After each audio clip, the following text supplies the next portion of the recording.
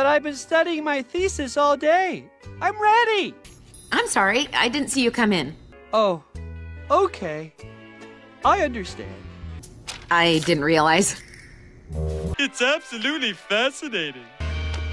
Girdle? I, I, I wouldn't need a girdle for my disguise because it's an undergarment. Why, why would I use a girdle?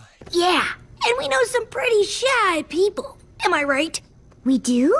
Who? I'm Sunset Shimmer, president of the yearbook committee and editor in chief. Oh, okay. Do you want to join? We can always use extra help.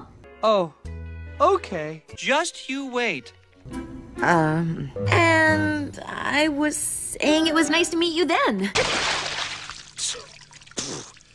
Thanks. You didn't let me finish.